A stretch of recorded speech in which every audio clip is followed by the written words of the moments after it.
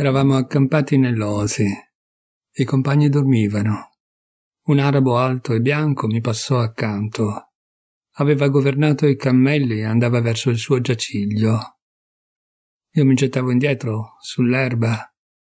Volevo dormire, ma non potevo. C'era l'urlio lamentoso di uno sciacallo lontano. Mi drizzai, e quello che era stato così lontano mi fu improvvisamente vicino, un brulichio di sciacalli intorno a me. Occhi splendenti di un oro sbiadito e subito spenti, corpi snelli, agitati irregolarmente e velocemente, come sotto una frusta. Uno di loro mi venne dietro e si spinse sotto il mio braccio, proprio accanto a me, come se avesse bisogno del mio calore. Mi si parò poi dinanzi parlandomi, quasi con gli occhi negli occhi. Io sono il più vecchio sciacallo qui intorno, in lungo e in largo. Sono lieto di poterti ancora salutare qui. Io ne avevo quasi già perduta la speranza, perché noi ti aspettiamo da un'infinità di tempo. Mia madre e sua madre ancora tutte le loro madri, fino alla madre di tutti gli sciacalli. Credilo. Ciò mi stupisce, dissi io, dimenticando di accendere la catasta di legna che era pronta per tener lontani col suo fumo gli sciacalli. Mi stupisce molto di sentirlo. Soltanto per caso vengo dal lontano settentrione e sto facendo un breve viaggio. E cosa volete, o sciacalli? Quasi incoraggiati da questo discorso, forse troppo amichevole, essi strinsero un cerchio più chiuso intorno a me. Tutti respiravano affannati, soffiando. Noi sappiamo, cominciò il più anziano, che tu vieni dal nord, e appunto su questo riposa la nostra speranza. Là c'è la comprensione che qui fra gli arabi non si può trovare. Da questa fredda superbia, sappilo, non c'è da cavar neppure una scintilla di comprensione. Essi uccidono le bestie per mangiarle e disprezzano le carogne. Non parlar così forte, dissi io. Degli arabi dormono qui vicino. Tu sei veramente uno straniero, rispose lo sciacallo, altrimenti sapresti che ancora mai nella storia del mondo uno sciacallo ha temuto un arabo. Dovremmo temerli? Non è una disgrazia sufficiente essere capitati sotto un tale popolo. Può essere, può essere, dissi. Io non mi arrischio a giudicare le cose che mi sono così estranee. Deve essere una lotta molto antica, probabilmente è nel sangue. E così finirà forse soltanto nel sangue. Tu sei molto intelligente, disse il vecchio sciacallo, e tutti respirarono più svelto, coi polmoni affannati, benché stessero fermi. Un fiato amaro, sopportabile solo a denti stretti, ogni tanto sfuggiva dalle mascelle aperte. Tu sei molto intelligente. Ciò che tu dici corrisponde al nostro antico insegnamento. Noi prendiamo infatti il loro sangue, e la lotta è finita. Ah, dissi io, più violentemente di quel che non volessi. Essi si difenderanno, vi abbatteranno a frotte coi loro fucili. Tu ci fraintendi, fu la risposta, secondo la maniera umana, che dunque anche nel lontano nord non si perde. Noi non li uccideremo. Tanta acqua non avrebbe il Nilo per purificarci. Noi fuggiamo via alla sola vista del loro corpo, in aria più pura, nel deserto, che perciò è la nostra patria e tutti gli sciacalli intorno, a cui nel frattempo s'erano aggiunti ancora molti da lontano, chinarono le teste fra le gambe anteriori e le pulivano con le zampe. Era come se avessero voluto nascondere un'avversione così tremenda da farmi preferire di sfuggire con un gran salto dal loro cerchio. Cosa avete dunque intenzione di fare? Domandai, e volevo alzarmi, ma non potei. Due giovani bestie avevano affondato i loro denti dietro la mia giacca e nella mia camicia. Dovevo restar seduto. Essi tengono il tuo strascico, disse il vecchio sciacallo, spiegandosi seriamente. È un segno di stima. Mi devono lasciare andare, gridai io rivolgendomi al vecchio e un po' ai giovani. Lo faranno, naturalmente, disse il vecchio, se tu lo pretendi. Ma ci vorrà un po' di tempo perché secondo l'uso essi hanno affondato bene i loro denti e solo lentamente devono sciogliere il morso. E intanto ascolta la nostra preghiera.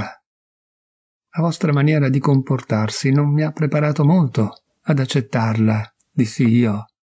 Non farci scontare il nostro malgarbo, disse egli e prese ora per la prima volta il tono lamentoso della sua voce naturale. Poi siamo povere bestie e abbiamo soltanto i denti. Per tutto quello che vogliamo fare, il bene come il male, ci rimangono unicamente i denti. Cosa vuoi tu dunque? chiesi io appena un poco addolcito. Signore, gridò egli, e tutti gli sciacalli ululavano, sicché nella più lontana distanza sembrò suonare come una melodia. Signore, tu devi chiudere la lotta che divide il mondo. I nostri antenati hanno descritto colui che lo farà così, come sai tu. Dobbiamo aver pace dagli arabi, aria respirabile, che lo sguardo intorno all'orizzonte sia purificato da loro, che non si intenda più il gridar lamentoso del montone scannato dall'arabo. Ogni bestia deve crepare tranquillamente, senza noie. Il suo sangue deve essere bevuto fino all'ultima goccia. Il suo corpo deve essere ripulito da noi fino alle ossa. Purezza, Soltanto purezza vogliamo noi. E qui tutti piangevano e singhiozzavano. Come puoi sopportarlo in questo mondo soltanto tu, nobile cuore e tenera carne? Sudicio è il loro bianco, sudicio il loro nero, un orrore è la loro barba. Bisogna sputare alla vista dell'angolo dei loro occhi. E se sollevano il braccio, nel cavo dell'ascella si apre l'inferno. Perciò, Signore, prezioso Signore, con l'aiuto delle tue mani onnipossenti, sgozza con queste forbici i loro colli. E obbediendo a un cenno della sua testa, mi si avvicinò uno sciacallo, che portava col dente canino una piccola forbice da cucito, coperta di vecchia ruggine. Finalmente, ecco le forbici, e con questo basta, gridò il capo arabo della nostra carovana, che controvento si era accostato di nascosto a noi e che sollevava ora la sua gigantesca frusta. Tutti gli sciacalli si misero in fuga in gran furia, ma rimasero a una certa distanza accovacciati strettamente l'uno all'altro, e così fitti e fermi da sembrare uno stabbio cui volassero intorno dei fuochi fatui.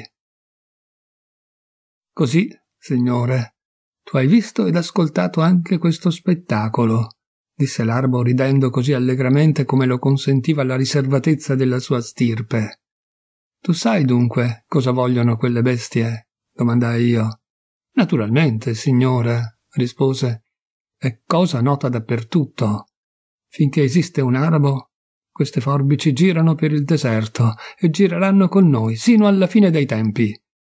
A ogni europeo vengono offerte per la grande impresa ed ogni europeo sembra quello invocato da loro.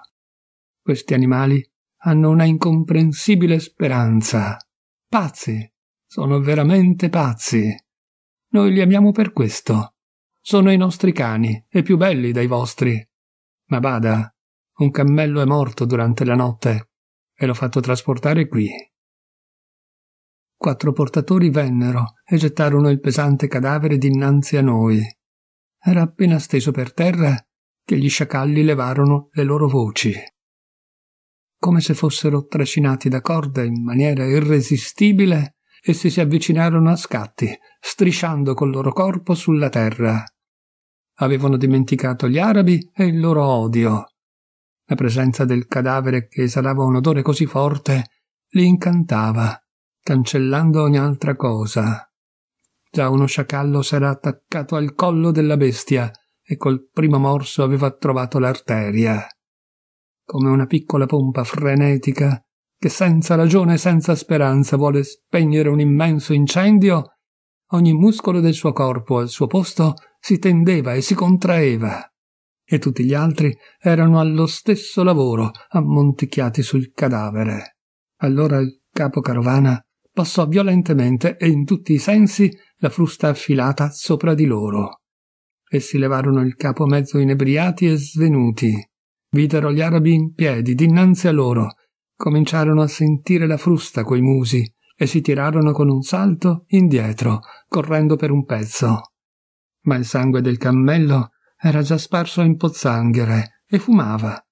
Il suo corpo aveva già dei larghi strappi in più parti. Non poterono resistere. Erano di nuovo lì, e di nuovo il capocarovana levò la frusta. Ma io lo trattenni per il braccio.